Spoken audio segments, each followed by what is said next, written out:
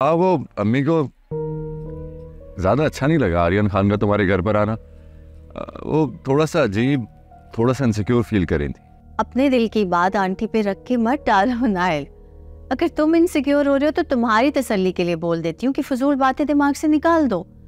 किसी के साथ चाय कॉफ़ी पी लेने का मतलब ये थोड़ी होता है कि शरी शरी एक मिनट। मेरी ज़रा तुम बात सुनो।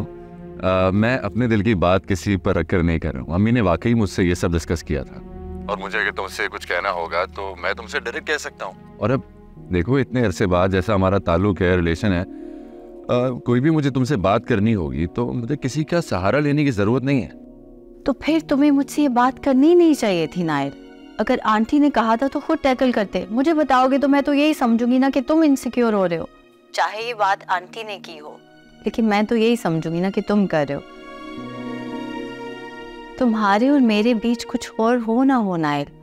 ट्रस्ट ज़रूर होना चाहिए। शरी आई थिंक तुम बहुत ज़्यादा सीरियस ले रही हो बात को। ये इतनी बड़ी बात है नहीं ये तो बिल्कुल नॉर्मल सी बात थी जैसे हम एक दूसरे के साथ हर बात ही शेयर करते हैं। चलो ठीक है।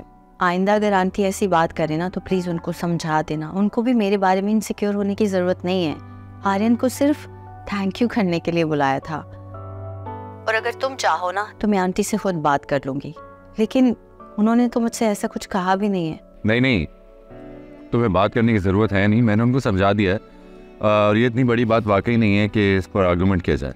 तुम्हें मुझ पर कितना ट्रस्ट है नायर क्या मतलब है? सवालों के मतलब निकालने से पहले अगर जवाब दे दिया जाए ना तो उलझन खत्म हो जाती है। सवाल पे सवाल नहीं करते। जो मैंने पूछा है प्लीज़ सच सच बताओ। कितना ट्रस्ट करते हो मुझे? और प्लीज़ सच बोलना। हाँ। शरी मुझे ऑनेस्टली तुम पर बहुत ज़्यादा ट्रस्ट है। मुझे तुम पर इतना ट्रस्ट है कि मैं कभी सोच भी नहीं सकता कि तुम मुझे धोखा दे सकती।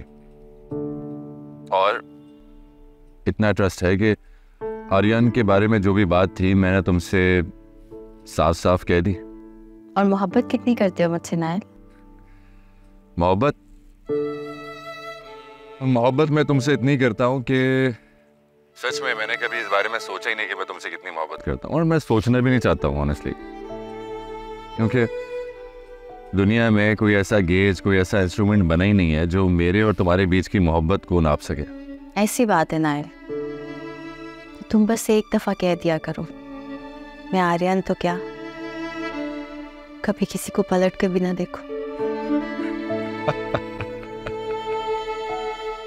अपना ख्याल रखना। खुदा हाफिज ओके ओके बाय बाय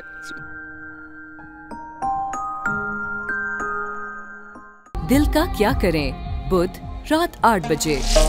सिर्फ़ ग्रीन एंटरटेनमेंट पर।